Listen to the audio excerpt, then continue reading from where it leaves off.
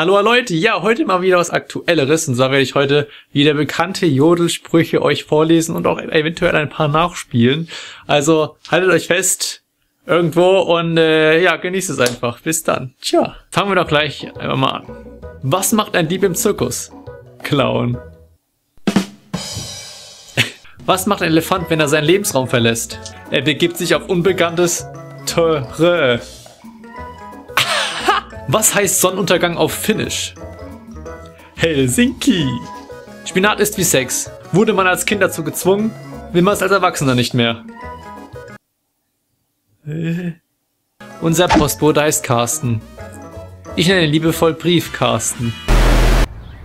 Du, Papa, was ist eigentlich ein Alkoholiker? Siehst du die vier Bäume da drüben? Alkoholiker sehen da acht. Da stehen aber nur zwei. Warum haben alle eigentlich immer einen Dreier?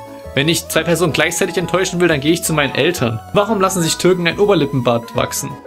Damit sie mit dem Perso von ihrer Mutter in den Clubs gehen können. Das wäre aber echt krass, wenn man so einen, so einen Bart als Frau hätte. Ich habe sogar schon eine gesehen, die hatte hier unten übelsten Bart. Es gibt nur zwei Regeln zum Erfolg im Leben. Erstens, erzähle nie alles, was du weißt.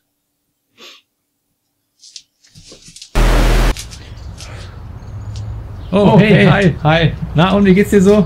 Gut, hi, cool. Und was machst du so in deiner Freizeit? Ja, ich stalke. Cool, ich gehe gern schwimmen. Ja, ich weiß. Ja Leute, und das war's auch schon wieder mit diesem Video. Wenn es euch gefallen hat, dann gebt doch einen Daumen hoch. Und lasst mich in den Kommentaren bitte wissen, ob ihr auch schon mal solche Sprüche losgelassen habt. Und wenn ja, welche. Hier oben kommt noch zu zwei weiteren Videos. Und dann würde ich mal sagen, adios amigos.